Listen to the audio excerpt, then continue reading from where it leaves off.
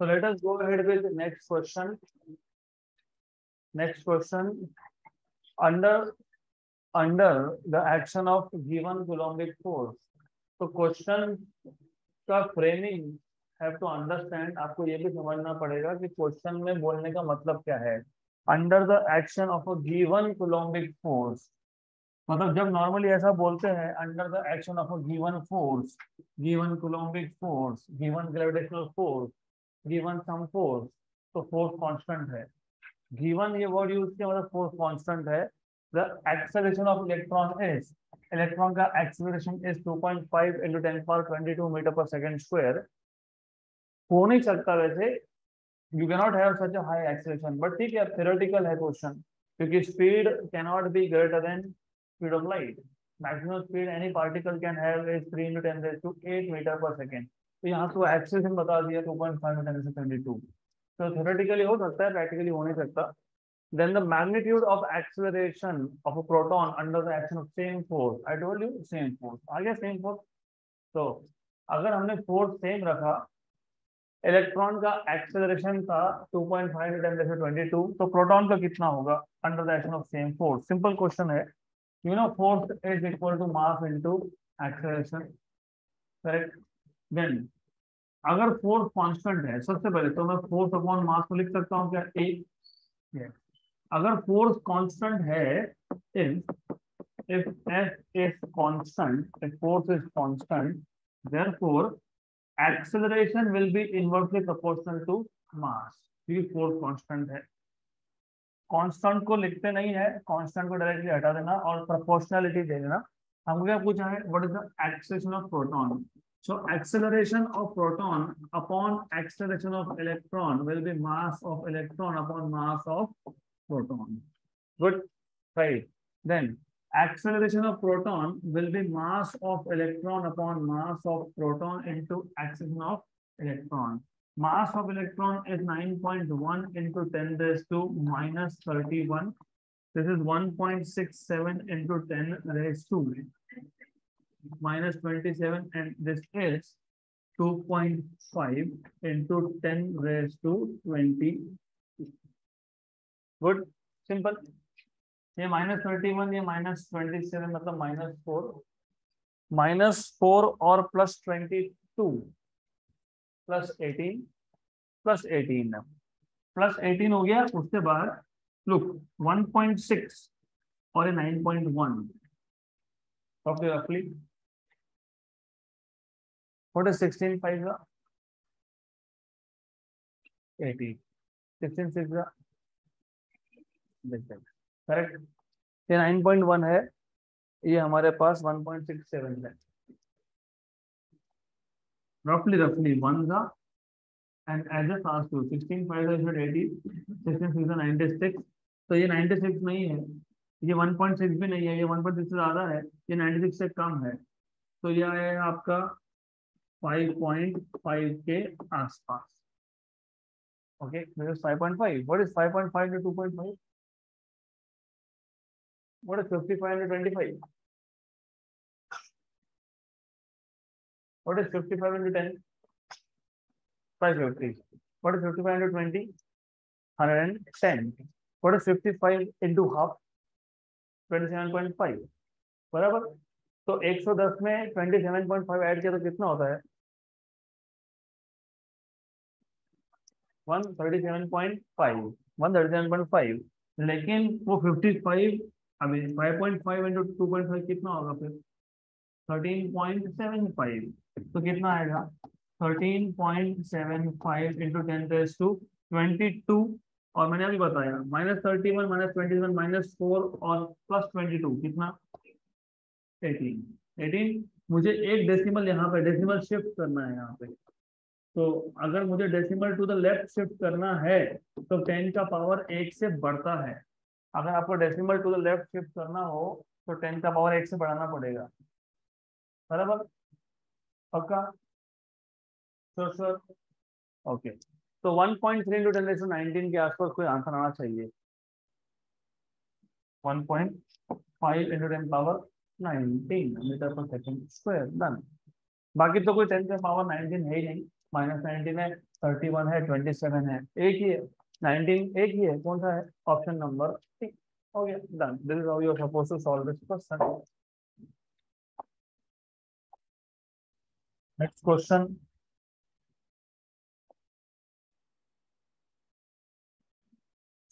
set number three अभी set one हो गया सेट टू हो गया let us go ahead with set number three the electrostatic force on a small sphere of charge 0.2 microcoulomb due to another small sphere of charge minus 0.4 microcoulomb in air is 0.4 newton the distance between the two spheres is again इस question में कुछ नहीं है It is extremely simple question. Force between two charges is 1 upon 4 pi epsilon 0 q1 q2 by r square. Force की value बोली है 0.4 Newton 1 upon 4 pi epsilon 0 की value होती है 9 into 10 पावर 9 q1 की वैल्यू है 0.2 माइक्रो कूलम 0.2 माइक्रो मतलब 0.2 into 10 power minus six into distance into second charge कितना है? Minus zero point four into ten power minus six.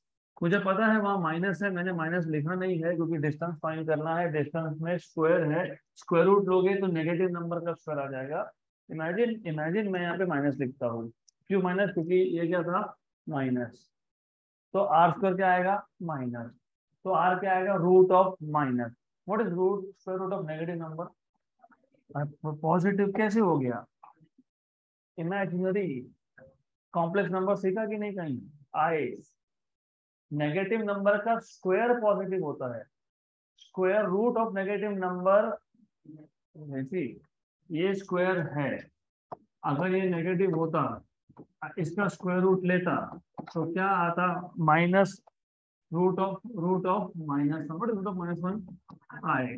तो इमेजिनरी बन जाएगा। Distance cannot be imaginary distance real distance always तो that is why intentionally आपको ऐसा बोलते हैं वो कि चार्ज दूसरा माइनस है so that you take a minus sign तो माइनस लेने की ज़रूरत नहीं है। You not suppose to take minus cancel cancel अब, इतने अच्छे नंबर है हमारे पास सो गुड नंबर कैसे ten power minus six minus six minus twelve plus nine minus minus plus minus three R को शिफ्ट कर दिया. Nine into zero point two को मैं two into ten power minus one लिख सकता हूँ. ये टेन पावर माइनस वन देता है. ये minus six minus six minus twelve plus nine मतलब माइनस थ्री माइनस थ्री और माइनस वन कितना माइनस फोर, बराबर रूट ले, अगर रूट लेते हैं तो नाइन का रूट थ्री, इसका रूट रूट टू, इसका root ten power minus two you know root two one point four one four yes So 3 into 1.414. 3 into 1.414 into 10 raised to minus 2. What is 14 3 are? How much is 14 3 are? 42? 42? हाँ तो answer आएगा 4.2 के आसपास। Into ten power minus two metre ऐसा कुछ होना चाहिए। है? है? है ना? लेकिन टेन पर माइनस थ्री है। तो कहाँ गड़बड़ हो गया? Where is what is wrong what went wrong check कर लो एक बार। ये करेक्ट है क्या? यस पॉइंट फोर न्यूटन था क्या? यस माइक्रोकुलम माइक्रोकुलम था? यस वेरी गुड तो टेन पावर माइनस थ्री आ गया यस इसको twenty ten per minus one लिखा माइनस फोर हो गया करेक्ट है. आर स्क्वायर शिफ्ट कर दिया nine into ten per minus four correct है. इसका रूट लिया तो थ्री करेक्ट है. Three one point four one point four four point two तो सब कुछ करेक्ट है. मतलब आंसर में कुछ तो गड़बड़ है फिर. Everything is right yes answer is wrong of course option is wrong तो यहाँ पे आ जाएगा ये minus two and option number B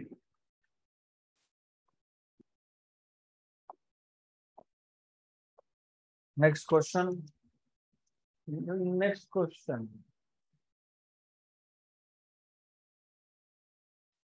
the nucleus of helium atom. Well, by the way, helium atom has two protons, two neutrons inside nucleus और दो electron in the orbit उन दोनों ऑर्बिट को अगर हमने, दोनों ऑर्बिट के इलेक्ट्रॉन्स को अगर हमने निकाल दिया तो क्या बचा? न्यूक्लियस उसको बोलते हैं H E plus plus doubly ionise helium atom और उसी का नाम है अल्फ़ा पार्टिकल। सो अल्फ़ा पार्टिकल मतलब मतलब nucleus of helium. So the nucleus of helium atom contains two protons that are separated by distance 3 into ten raise to minus fifteen metre nucleus के अंदर ही दो प्रोटॉन है और उन दोनों प्रोटॉन का डिस्टेंस है 10 power minus fifteen metre three into ten power minus fifteen metre the magnitude of electrostatic force that each proton exerts on the other is extremely simple question कुछ नहीं है। Force is 1 upon 4 pi epsilon 0 q1 q2 by r square अब आपको पता ही है, ये है 9 into ten raise to nine आपको पता ही है चार्ज ऑन प्रोटॉन इस ई दूसरे पे भी ई तो ई का स्क्वायर डिस्टेंस आपको दिया है three into ten raise to minus fifteen इसका स्क्वायर मतलब ऐसे टाइप ऑफ़ क्वेश्चन में सिर्फ़ is just to revise formulas इसका मतलब आज लास्ट लेक्चर है electrostatics also so just to revise if you remember formulas or not and just to go ahead with some calculation what is e 1.6 into 10 raised to minus 19 इसका square बराबर 3 into 10 power minus fifteen का square अब मैं सबका square कर दूँगा यहाँ पे एक काम करो अब 9 into ten two nine sixteen का स्क्वायर कितना होता है 256 तो 1.6 का कितना 2.56 आ गया आंसर आपका 25.6 कैसे 25.6 क्योंकि नीचे 3 का स्क्वायर है। 3 का स्क्वायर कितना है? 9 थ्री का square nine ten power minus fifteen का स्क्वायर माइनस थर्टी ऊपर नाइन नीचे नाइन कैंसल बाकी सारे के सारे टेन के पावर है।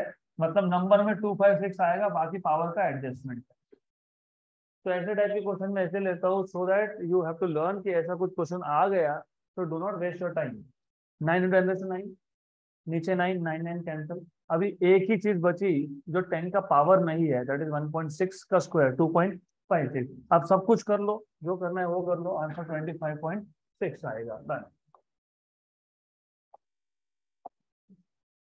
तो वैसे इफ़ यू लुक ये ten power minus thirty eight था, नीचे टेन पावर माइनस थर्टी था तो ऊपर माइनस एट बचेगा।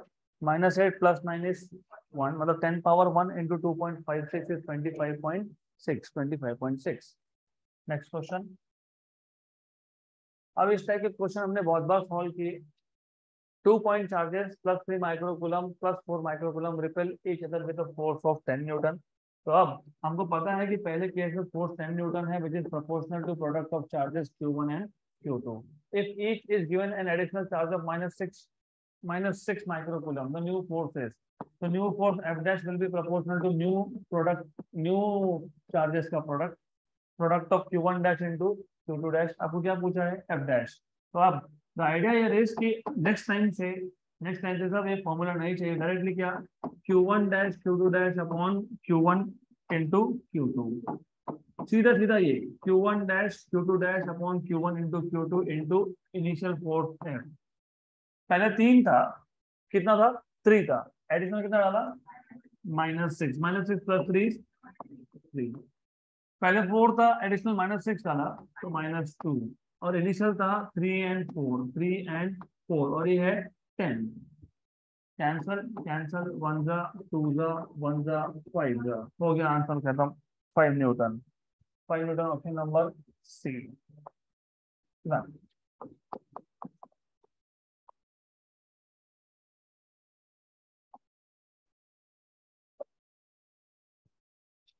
two point charges plus 20 microcoulomb and 80 microcoulomb are 10 centimeter apart. Distance between these two is 10 centimeter. Where will the electric field strength be zero on the line joining the charges from 20 microcoulomb charge? मैंने आपको बताया था कभी पूछेंगे कभी पूछेंगे कि इन दोनों के चार्जेस इन दोनों चार्जेस के बीच में और एक चार्ज रख दिया तो net force on this charge will be zero at what distance हमने ऐसा क्वेश्चन सॉल्व किया था, मैंने आपको बताया भी था, जहाँ फोर्स ज़ीरो वहाँ पे इलेक्ट्रिक फ़ील्ड भी ज़ीरो तो एक चार्ज है और एक दूसरा चार्ज है. तो यू हैव टू चार्जेस इन दोनों चार्जेस के बीच में एक पॉइंट है some point let us say P point पहला चार्ज कितना है? ट्वेंटी माइक्रोकुलम तो इसको मैं ए पॉइंट बोलता हूँ, ये कितना है? एटी माइक्रोकुलम इसको मैं बी पॉइंट बोल देता हूँ. ए टू बी डिस्टेंस कितना है? टेन सेंटीमीटर आपको पूछा है, कौन से पॉइंट पे इलेक्ट्रिक फ़ील्ड ज़ीरो होगा?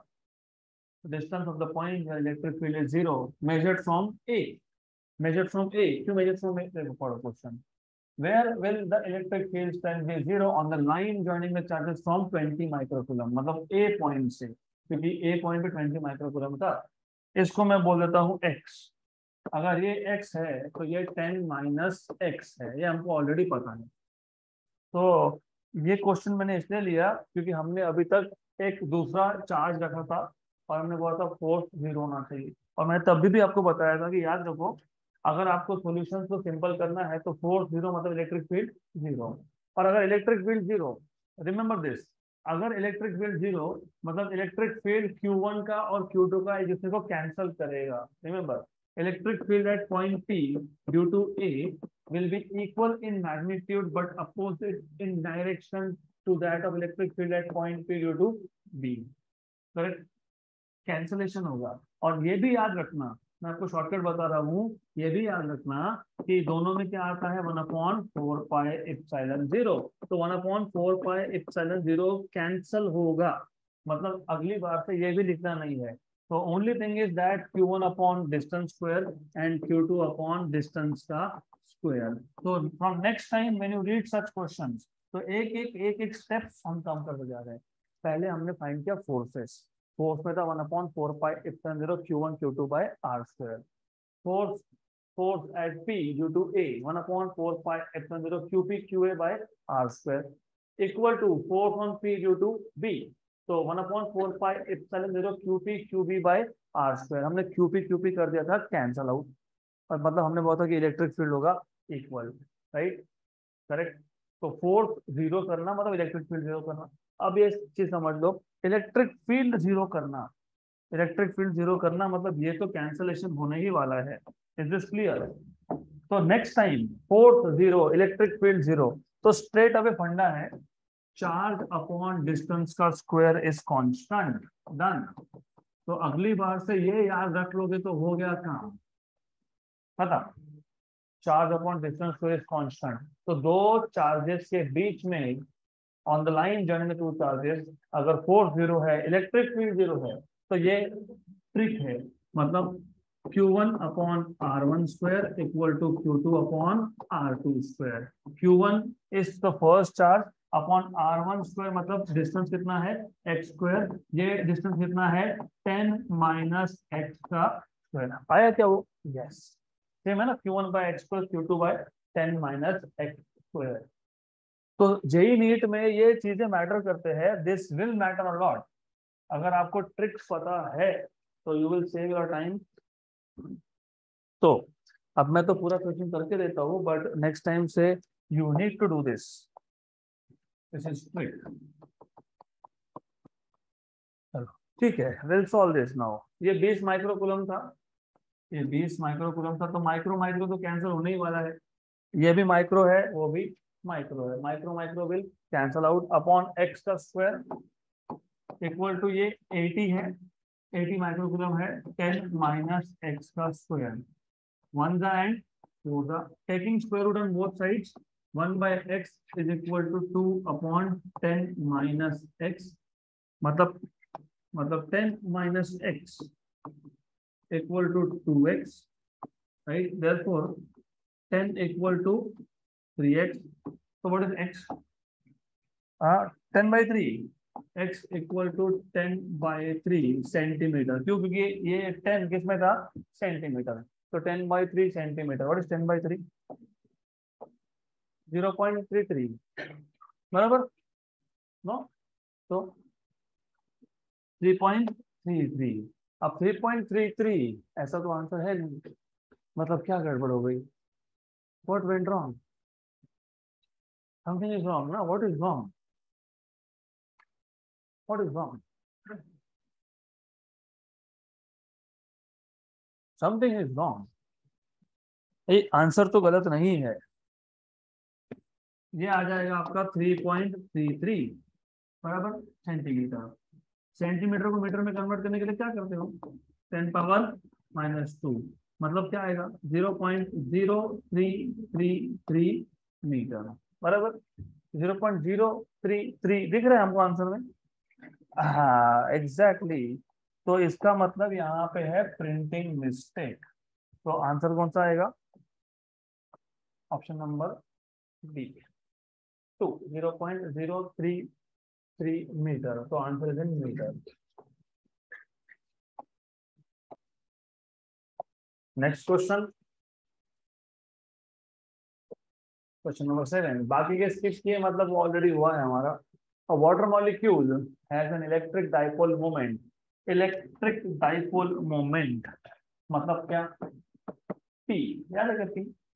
electric dipole moment magnitude of one of the charges multiplied by distance between the two charges q into 2l इसको हमने बोला electric dipole moment इसकी वैल्यू दी है कितने दी है 6.4 into 10 raised to minus 30 क्या सेंटीमीटर ये भी गलत है it is never centimetre it is coulomb metre क्यों कूलम मीटर ये चार्ज है कूलम वेलेंस है मीटर तो कूलम मीटर तो वो सेंटीमीटर नहीं है वो कूलम मीटर है ओके तो गलती से भी उसको सेंटीमीटर मत बोलना। Then a water molecule has electric dipole moment 6.400 to -30 coulomb metre when it is in vapour state gaseous state vapour state में है। The distance in metre between the centre of positive and negative charge the distance in metre between the centres of positive and negative charge of the molecule is अब अब ऐसा है water molecule मतलब H two O दो hydrogen एक oxygen अब थोड़ा सा कॉन्सेप्ट ये ट्वेल्थ का है, लेकिन मैं अभी इंट्रोड्यूस कर देता हूँ। See the idea here is oxygen में ऑक्सीजन में आठ प्रोटॉन्स एंड आठ electrons eight protons are inside the nucleus and eight electrons are in the orbit hydrogen में एक प्रोटॉन और एक इलेक्ट्रॉन। ओके तो ऐसा है, इन टोटल अगर आप देखोगे, इन टोटल अगर आप देखोगे तो एक पॉजिटिव एक पॉजिटिव और आठ positive total is ten positive charges and also ten negative charges क्योंकि इलेक्ट्रॉन्स भी दस है तो दस पॉजिटिव और दस नेगेटिव लेकिन ये सारे के सारे चार्ज पार्टिकल एक सिंगल पॉइंट पे नहीं है। They not at the single point यहाँ पे आठ electron they are in the orbit some in the orbit okay two and six दो ऑर्बिट होंगे ना?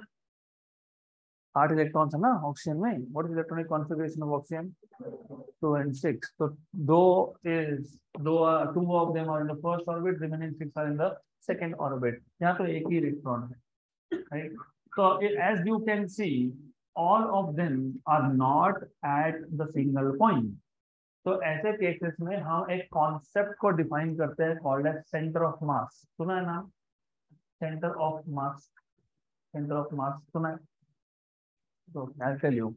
I'll tell you what is center of mass. कोई दिक्कत नहीं है. You know what is weight of a body? अगर मेरे पास एक ब्लॉक है, अगर मेरे पास एक ब्लॉक है जिसका मास m है, m, इस ब्लॉक का वेट मतलब क्या क्या क्या? क्या? एम जी बराबर? Gravitational force acting on the mass gives that mass weight, which is given by mg right? लेकिन ग्रेविटेशनल फोर्स का जो फॉर्मूला था, वो था g mass of earth mass of body upon distance का स्क्वायर अभी ऐसी बात है कि अर्थ अर्थ का मास सिंगल पॉइंट में तो नहीं है और बॉडी का भी मास सिंगल पॉइंट में तो नहीं है। राइट क्योंकि बॉडी का मास मास तो बॉडी का यहाँ पे भी है, यहाँ पे भी है, यहाँ पे भी है, यहाँ पे भी है। ऐसा सब मिला के कितना है? एम जैसे in your case in your case हाथ का मास दूसरे हाथ का मास सिर का मास ओवरऑल तो मास डिस्ट्रीब्यूशन एक जगह पे है क्या? बॉडी में नहीं इट इज़ डिस्ट्रीब्यूटेड अब ये जो ग्रेविटेशनल फोर्स आपको क्या बताता है? ये आपको बताता है कि gravitational force always act between two points क्योंकि distance is only between two points तो gravitational force is the force acting between two point masses जैसे टू पॉइंट चार्जेस था वैसे टू पॉइंट मासेस है। ऐसा क्लियर लेकिन मास एक पॉइंट में कहा है ही नहीं एक पॉइंट में मास मास तो डिस्ट्रीब्यूटेड है ना? तो ऐसे केस में हम अज्यूम करते हैं कि पूरी बॉडी में पूरी बॉडी में एक ऐसा पॉइंट होगा जहाँ पे पूरे बॉडी का mass is suppose to be concentrated the whole mass of the body is imagined considered supposed to be concentrated in one single point that is called as center of mass तो gravity किस पे act हो रहा है centre of mass पे तो जैसे earth का भी सेंटर ऑफ़ मास है वैसे बॉडी का भी सेंटर ऑफ़ मास है राइट तो पूरे बॉडी का मास एक सिंगल पॉइंट पे कॉन्सेंट्रेटेड है, ऐसा हम इमेजिन करते हैं और उस सिंगल पॉइंट को हम लोग बोलते हैं centre of mass right correct तो सेंटर ऑफ़ मास पे एक्ट होता है ग्रेविटी और वो देता है वेट एम जी यहाँ तक क्लियर अब इसका हमारे क्वेश्चन के साथ क्या कनेक्शन ज़्यादा कनेक्शन तो नहीं है but little bit is there हमारे पास मॉलिक्यूल का वाटर मॉलिक्यूल है। वाटर मॉलिक्यूल में ऑक्सीजन है and you have hydrogen also and all the charges are not distributed at the same point they not at the same point electrons की बात करोगे तो दो इलेक्ट्रॉन पहले ऑर्बिट में थे, बाकी के छह इलेक्ट्रॉन जो थे six of them were in the second orbit तो इन सारे के सारे इलेक्ट्रॉन को एक सिस्टम मान लो। इसका एक सेंटर ऑफ़ मास होगा सामने। और यहाँ पे भी एक इलेक्ट्रॉन है, यहाँ पे भी एक इलेक्ट्रॉन है। तो टोटल इन दोनों इलेक्ट्रॉन्स का हाइड्रोजन के दो इलेक्ट्रॉन्स का सेंटर ऑफ़ मास यहाँ पे आ जाएगा। ऑक्सीजन का इलेक्ट्रॉन्स का सेंटर ऑक्सीजन के सेंटर पे। हाइड्रोजन का इलेक्ट्रॉन का सेंटर इन दोनों को जो लाइन ज्वाइन करता है, उसके सेंटर पे। करेक्ट मतलब मैं पूरे मॉलिक्यूल को सिर्फ़ ऐसा दिखा सकता हूँ। ये हाइड्रोजन का इलेक्ट्रॉन का सेंटर है, ये ऑक्सीजन के इलेक्ट्रॉन का सेंटर है। फिर इन दोनों का सेंटर कहाँ आएगा? कॉमन सेंटर पे। कॉमन सेंटर मतलब समवेयर ओवर हियर यहाँ तक क्लियर मतलब ओवरऑल जस्ट समरी मतलब पूरा का पूरा ये जो मैंने बताया, उसका एक बॉटम लाइन क्या है? बॉटम लाइन ये है कि इलेक्ट्रॉन सारे के सारे एक जगह पे नहीं भी हो, हम इमेजिन कर सकते हैं कि सारे नेगेटिव चार्ज का एक कॉमन सेंटर है। उसको बोलते हैं centre of negative charge twelfth में ये कॉन्सेप्ट और डिटेल में जाएँगे। तो पंद्रह इलेक्ट्रॉन हो, बीस हो, पच्चीस हो, सौ हो, दो सौ हो, पाँच सौ हो, दस दस हज़ार हो, जितने भी हो, सारे के सारे इलेक्ट्रॉन्स का कॉमन सेंटर होता है। उसको बोलते हैं सेंटर ऑफ़ नेगेटिव चार्ज यहाँ तक क्लियर एटम में सिर्फ़ इलेक्ट्रॉन्स होते हैं क्या? और क्या होता है? प्रोटॉन्स तो प्रोटॉन्स का भी तो कॉमन सेंटर होगा। उसको बोलेंगे सेंटर ऑफ़ पॉजिटिव चार्ज एक एटम में जितने इलेक्ट्रॉन उतने ही प्रोटॉन्स तो एक मॉलिक्यूल में भी जितने इलेक्ट्रॉन उतने प्रोटॉन करेक्ट क्लियर मतलब एक मॉलिक्यूल पे जितना पॉजिटिव चार्ज है, कितना पॉजिटिव चार्ज है? टेन इलेक्ट टेन प्रोटॉन्स और कितना नेगेटिव चार्ज है? टेन इलेक्ट्रॉन ऐसा क्यों? ऑक्सीजन में कितने प्रोटॉन थे? आठ. यहाँ पे कितना था? एक. और यहाँ कितना था? एक. तो टोटल कितना हो गया? दस. तो पॉजिटिव चार्ज कितना है? दस। नेगेटिव चार्ज कितना है? दस। तो नेगेटिव चार्ज कितना है? Minus ten charge on electron this is plus ten charge on proton do you know two equal but opposite charges separated by finite distance is is? Two equal मतलब plus Q minus Q dipole तो कुछ कुछ link हो रहा है यहाँ पे? Minus ten E and plus ten E equal but opposite charges separated by finite distance तो ओवरऑल पिक्चर ऐसा बनता है इसमें, हमारे पास मॉलिक्यूल का मॉलिक्यूल में हाइड्रोजन दो है, एक ऑक्सीजन है। ऑक्सीजन के नेगेटिव चार्जेस और हाइड्रोजन के नेगेटिव चार्जेस इन सबका एक कॉमन सेंटर है। तो टोटल चार्ज कितना है? Ten E with minus sign क्योंकि ये नेगेटिव चार्जेस है। सिमिलरली सिमिलरली ऑक्सीजन के आठ पॉजिटिव चार्जेस और हाइड्रोजन के दो positive charges ten positive charges इसका भी एक कॉमन सेंटर बनता है that is that is ten E charge तो माइनस टेन ई और plus ten E they are separated by a small distance they will make a dipole तो जब dipole होगा तो क्या होगा? डाइपोल मोमेंट होगा। क्या तक क्लियर इज़ दिस क्लियर अब क्वेश्चन में क्या पूछा था? The distance between the centre of positive and negative charge of the molecule ये ये सेंटर ऑफ़ नेगेटिव चार्ज है, ये सेंटर ऑफ़ पॉजिटिव चार्ज है। आपको पूछा है इन दोनों का distance then asking what is the distance between these two charges right what is the distance between two charges of dipole what is the distance between plus q and minus q of a electric dipole लिखा है, board पे लिखा है कहीं तो। कितना है? Two L तो क्या फाइंड करने के लिए बोला आपको? क्या फाइंड करने के लिए बोला? टू एल बराबर? तो ये बन गया ना फॉर्मूला यहाँ से। यहाँ से ट्वेल्व क्या मिलेगा आपको? What is twelve P by Q electric dipole moment का डेफिनेशन याद है? It is defined as the product of magnitude of one of the charges दोनों में से एक चार्ज का मैग्नीट्यूड लेना है। दोनों में से एक चार्ज कितना चार्ज है? माइनस टेन है। कितना चार्ज है? प्लस टेन है। दोनों में से एक चार्ज तो मैग्नीट्यूड कितना होगा? टेन ई यहाँ तक क्लियर इज़ इज़ क्लियर नहीं तो ट्वेंटी लिख दोगे। ट्वेंटी नहीं है ये। नहीं तो ज़ीरो लिख दोगे। ज़ीरो भी नहीं है राइट तो टेन नेगेटिव टेन पॉजिटिव बीस हो गया। नहीं। Minus ten plus ten zero हो गया। नहीं। It is magnitude of one of the charges या तो नेगेटिव या तो फिर पॉजिटिव टेनिंग पी की वैल्यू दी है क्या? Yes what is p value? 6.4 into 10 raised to minus 30 coulomb meter upon 10 e what is charge on electron 1.6 into 10 raised to minus 19 coulomb coulomb coulomb so dimensionally meter aa raha hai kya yes so answer will be in meter of course yes 6 1.6 1 का and 1.6 4 का बाकी सब power का adjustment 10 power minus thirty नीचे minus nineteen और plus one minus eighteen ऊपर जाके plus eighteen plus eighteen तो two L equal to four into ten power minus twelve metre four into ten power minus twelve answer number one और ये two ऐसा ऐसा बिल्कुल मत करना। ऐसा किया तो आप सेंटर से एक चार्ज का डिस्टेंस बता रहे हो। इन्होंने क्वेश्चन में क्या पूछा है?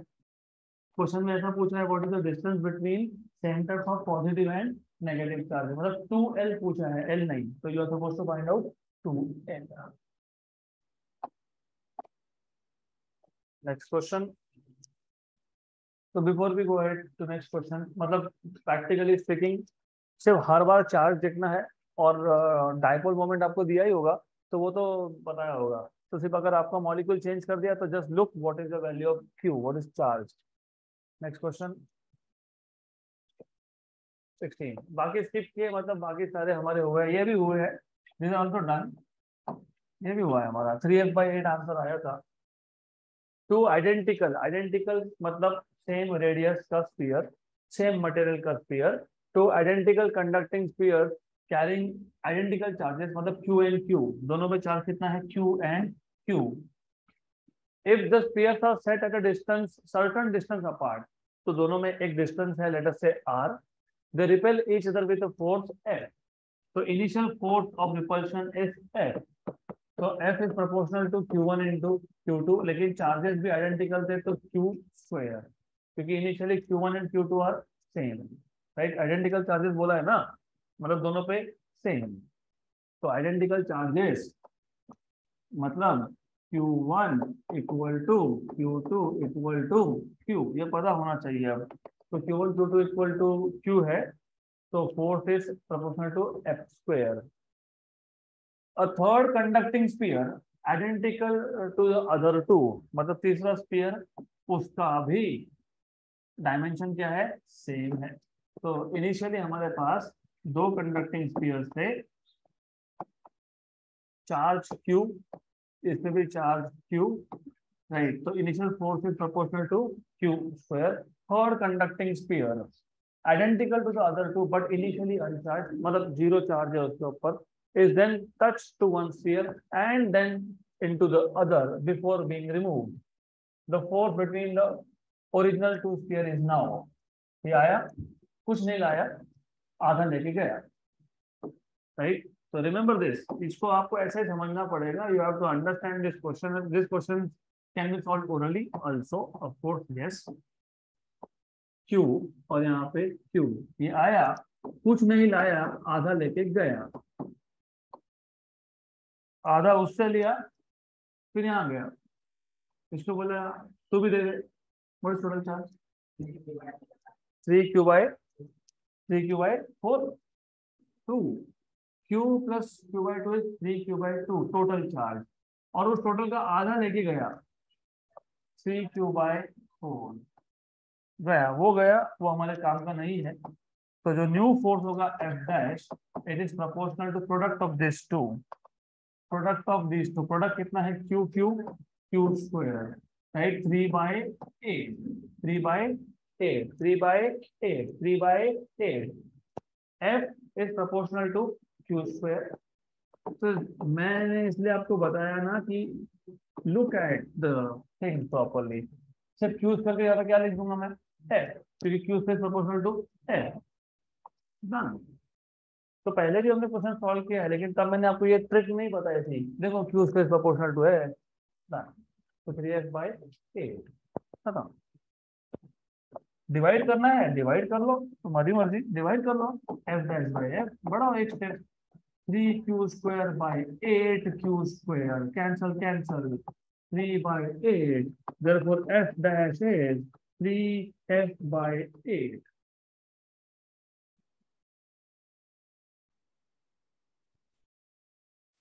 Do you remember what is the axis of electric dipole?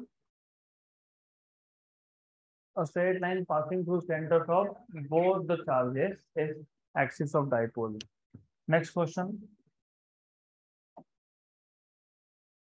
A given charge is situated at a certain distance from electric dipole.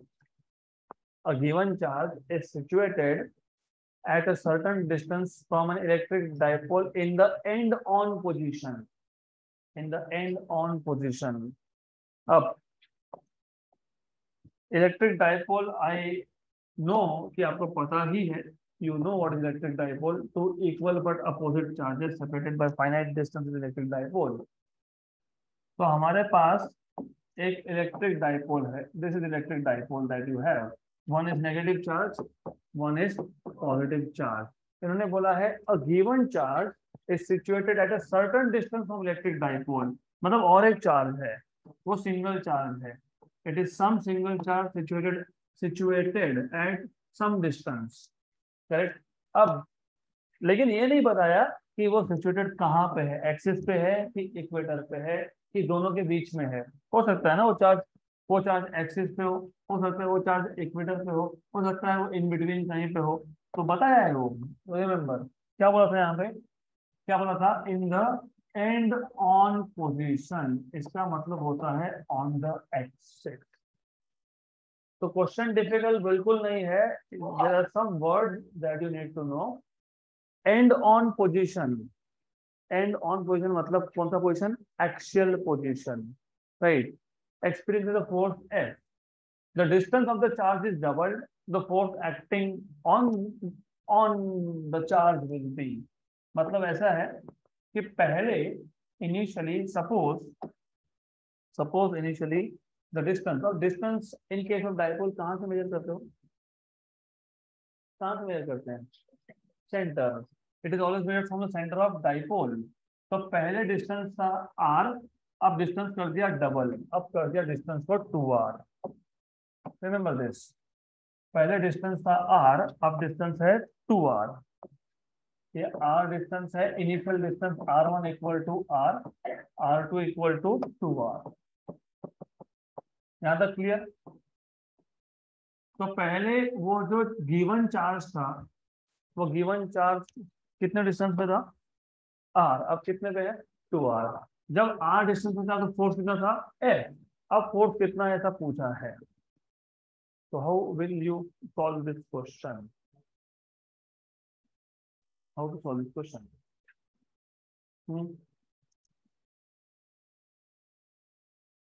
how will you solve this question very simple thing दो चीज़ें पता होनी चाहिए। Number one what is electric field on the axis of dipole at a large distance याद है? याद है? Electric field on the axis of dipole one upon four five seven zero two P by R cube याद है? On the equator तो सिर्फ़ to नहीं लिखते वहाँ पे। तो सबसे पहले तो पता होना चाहिए we know that electric field on the axis of dipole is one upon four five zero two P by one upon four five in zero constant है टू भी कॉन्स्टेंट है पी भी कॉन्स्टेंट है, क्योंकि पी डिपेंड करता है Q into two L q into 2l ये distance l ये डिस्टेंस n हमने चार्ज चेंज किया? नहीं किया। हमने डायपोल के चार्जेस को मूव किया? नहीं किया। हम कौन से चार्ज को मूव कर रहे हैं? दूसरे चार्ज को। तो टू कांस्टेंट पी भी constant four pi X zero भी कांस्टेंट मतलब electric field on the axial line is inversely proportional to R cube correct what is force force on a single charge ध्यान यहाँ पे, ध्यान यहाँ पे चाहिए। हियर मतलब हियर डन अगर हमारे पास एक चार्ज है, एक एक्सटर्नल इलेक्ट्रिक फ़ील्ड में रखा है उसको what is force on a charge due to electric field. What is what is the formula of force 1 upon 4 pi epsilon 0 q1 q2 by r square? अगर मैंने बोला ये one upon four pi zero Q one Q two by R square में से Q two को side में कर दो, क्या बचा ये क्या था ये? Electric field. किसका इलेक्ट्रिक फ़ील्ड? पहले का। तो फोर्स क्या है? इलेक्ट्रिक फ़ील्ड इनटू चार्ज तो फोर्स का फॉर्मूला तो पता होना चाहिए ना। Force is nothing but charge into electric field. ये गिवन चार्ज था। Into electric field. चार्ज किसके फ़ील्ड में है? डाइपोल के फ़ील्ड में। ये चार्ज। मैंने अभी बताया one upon four pi epsilon zero Q one Q two by R square जब लिखते हो ना आप, राइट? तो इस केस में ये पहले चार्ज का इलेक्ट्रिक फ़ील्ड होता है, उसमें कौन सा चार्ज बैठा है? दूसरा चार्ज। ये गिवन चार्ज किसके फ़ील्ड में है? ये गिवन चार्ज किसके फ़ील्ड में बैठा है? हाँ। अरे किसका फ़ील्ड है ये? एक्सियल फ़ील्ड किसका है? डाइपोल का है। ये डाइपोल का है मतलब दोनों चार्जेस का मिला के है ये। करेक्ट तो कौन सा चार्ज है? क्यू किसकी फ़ील्ड में है? डाइपोल की। और कौन सी लाइन पे है? एक्सिस तो force is charge into electric field वही तो फॉर्मूला है ना। Force is charge into electric field बराबर चार्ज तो कांस्टेंट है है कि नहीं कांस्टेंट यस पक्का? चार्ज तो कांस्टेंट है ना। हाँ तो चार्ज कांस्टेंट है तो force is directly proportional to electric field but electric field is inversely proportional to r cube. Therefore, force is also inversely proportional to r cube. तो start यहाँ से करना, सोचना कि हमको क्या फाइंड करना था? हमको बोला था डिस्टेंस डबल कर दिया तो फोर्स कितना होगा? फोर्स उस चार्ज पे क्यों लगेगा? इलेक्ट्रिक फ़ील्ड की किसका इलेक्ट्रिक फ़ील्ड एक्सिस डाइपोल का, कहाँ पे? एक्सिस पे। करेक्ट लेकिन electric field of dipole on axis is 1 upon r cube but force is directly proportional to electric field so force is also proportional to 1 upon r cube so what will be f2 by f1 R one by R two का cube square नहीं cube cube तो आप स्क्वायर के ऐसे अटक जाते हो क्योंकि you are still in the mode force between two charges ये फोर्स बिटवीन टू चार्जेस नहीं है ये force on a given charge due to electric field of dipole है अगर फोर्स बिटवीन टू चार्जेस होगा तो बराबर S P one upon four five epsilon zero Q one Q two by R square Is this force between two charges? No, it is force on a given charge due to electric field of dipole. लेकिन electric field of dipole is proportional to one upon r cube. So force is proportional to one upon r cube. So F2 by F1 will be R1 by R2 का cube. What is R1? R. What is R2?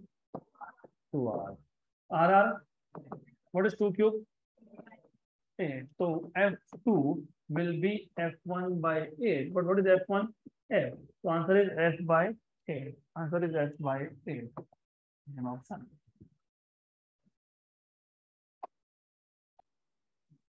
next question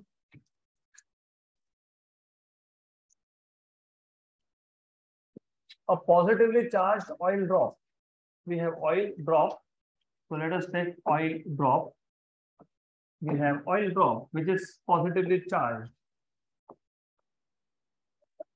और charge बता दिया eight into ten to minus five coulomb remains stationary in electric field between two horizontal plates important very important horizontal ये word बहुत important है क्योंकि अगर horizontal ये word आप ध्यान नहीं दोगे तो आपको क्वेश्चन कभी सॉल्व करते नहीं आएगा this is vertical this is तो oil drop remain stationary in horizontal plates अपने आप हवा में हैंगिंग कुछ चीज़ नहीं होती, हो ही नहीं सकती। क्योंकि अगर मास है तो क्या है? वेट है। वेट है तो M G is always vertically downwards और दो हॉरिजॉन्टल प्लेट्स है तो इलेक्ट्रिक फ़ील्ड होगा यहाँ पे। और वो force to electric field will basically balance weight right आगे पढ़ो question a positively charge oil drop of charge 8 10 5 coulomb remains stationary in electric field between two horizontal plates separated by distance 2 centimetre having PD PD मतलब potential difference of 6 6 volt mass of oil drop is in दोनों का distance कितना दिया है? How many centimetres अभी तो बोला 2 centimetre और एक प्लेट पॉजिटिव एक plate negative one is positive one is negative ये पॉजिटिव है, ये नेगेटिव करेक्ट ये जहाँ जहाँ पे पोटेंशियल डिफरेंस होता है ना, वहाँ वहाँ पे इलेक्ट्रिक फ़ील्ड होता है। और electric field is directed from positive charge to negative charge तो force of electric field force of electric field is balancing weight और आपको क्या पूछा है? मास तो पहले तो ये समझ में आना चाहिए कि force of electric field is balancing the weight force of electric field is charge into electric field अभी देखा था। What is force due to electric field charge into weight is M हमको क्या पूछा है? मास तो M equal to Q by G अगर ये डिस्टेंस को मैं डी से डिनोट करता हूँ तो एक क्वेश्चन था स्टेट बोर्ड का। पार्क प्लग का क्वेश्चन था। है प्लग का क्वेश्चन था। याद है? मैंने आपको ये भी बताया था कि इवन दो पोटेंशियल का कॉन्सेप्ट अभी तक आपको पता नहीं है, हम ट्वेल्थ में इंट्रोड्यूस करेंगे, लेकिन ये पोटेंशियल का फॉर्मूला हमको लगने वाला है। मैंने बताया था आपको कि electric field is potential per unit distance अगर इन दोनों प्लेट्स में पोटेंशियल डिफरेंस वी है तो इलेक्ट्रिक फ़ील्ड होता है V by D do you remember electric field is V by D spark plug का क्वेश्चन था, मैंने बजाज पल्सर का नाम भी लिया था डीटीएसआई भी बताया था डिजिटल ट्विन स्पार्क इग्निशन घर में लाइटर का भी आपको एग्जांपल दिया था मैंने। अभी दस दिन भी नहीं हुए। मैं तो remember this for two years okay electric field is potential difference upon distance क्यों? क्योंकि हमारे पास इलेक्ट्रिक फ़ील्ड नहीं था ना, हमारे पास क्या था? पोटेंशियल डिफरेंस था और क्या था? डिस्टेंस था। तो फॉर्मूला रेडी हो गया फॉर्मूला रेडी हो गया। तो इसके बाद क्या है? वैल्यू सब्सिट्यूट करो। चार्ज कितना दिया है? Eight into ten power minus five voltage कितना दिया है? सिक्स वोल्ट जी की वैल्यू कितनी होती है? नाइन पॉइंट एट मैं टेन मान लेता हूँ। टेन हमारा काम आसान होता है, मान लो। डिस्टेंस कितना है? टू सेंटीमीटर सेंटीमीटर को मीटर में कन्वर्ट करोगे तो क्या आएगा? Ten power minus two good then one जा फोर फोर ट्वेंटी फोर बाकी सारा पावर एडजस्टमेंट बाकी सारा पावर एडजस्टमेंट ठीक ten power minus five minus two नीचे. माइनस थ्री बचेगा, ये ऊपर जाएगा माइनस वन हो जाएगा मतलब टेन पावर माइनस फोर तो twenty four into ten power minus four gram sorry kilogram तो ऐसे आएगा two and four two and four अरे यहाँ पे भी गड़बड़ करके रखी है twenty four into ten power minus fourteen minus fourteen कहाँ से आएगा ये? इलेक्ट्रिक फ़ील्ड कितना है? छह वोल्ट है। चार्ज कितना है? माइनस फाइव है। डिस्टेंस है two centimetre. Q Q is correct V is correct G is correct D is correct everything is correct ten power minus one ऊपर जाएगा प्लस वन होगा दैट इज़ राइट तो answer में ही कुछ fault होना चाहिए। हम्म तो आंसर में कुछ गड़बड़ होनी चाहिए वैसे। हाँ है ना? गड़बड़ है गड़बड़ है। या तो चार्ज, या तो चार्ज को माइनस फिफ्टीन कर लो। अगर चार्ज माइनस फिफ्टीन है तो फिर आंसर माइनस फोर्टीन में आएगा राइट गुड नहीं तो फिर एक काम करो सिंपल सिंपल यहाँ पे कर दो इसको माइनस फोर तो ठीक है माइनस फोर कर लेंगे। ऑप्शन नंबर थ्री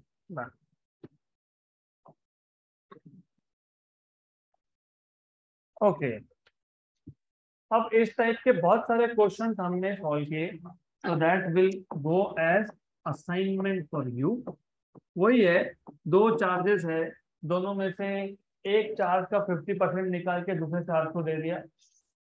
हमारे पास दो चार्जेस थे आइडेंटिकल स्पीयर्स है सेम चार्ज है क्यू एंड क्यू फोर्स है एफ़ अब एक चार्ज का 50 परसेंट निकाल के दूसरे को दे दिया।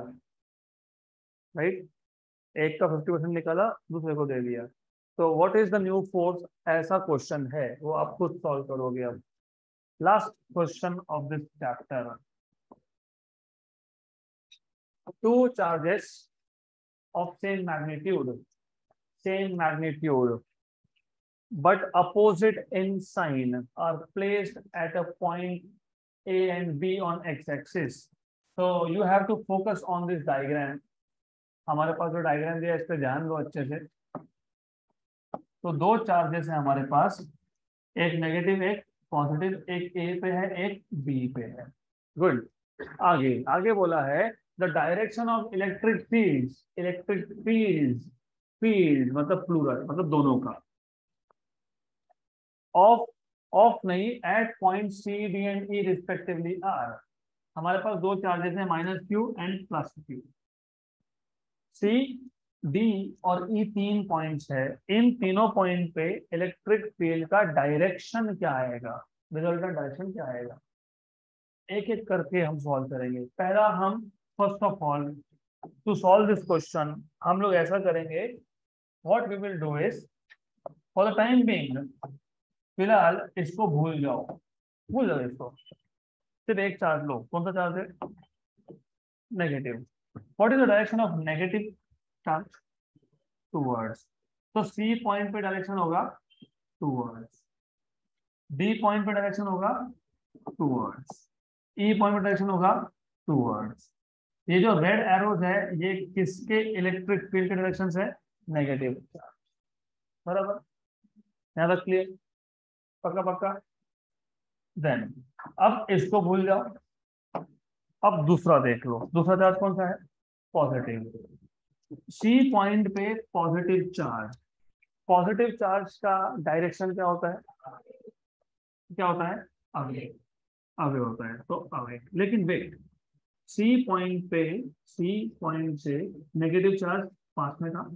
मतलब नेगेटिव चार्ज का इलेक्ट्रिक फ़ील्ड ज़्यादा होगा और बी पॉइंट मतलब पॉजिटिव चार्ज दूर है। मतलब इलेक्ट्रिक फ़ील्ड वीक होगा। वीक होगा मतलब डायरेक्शन तो अपोजिट है, पर मैग्नीट्यूड सेम नहीं है।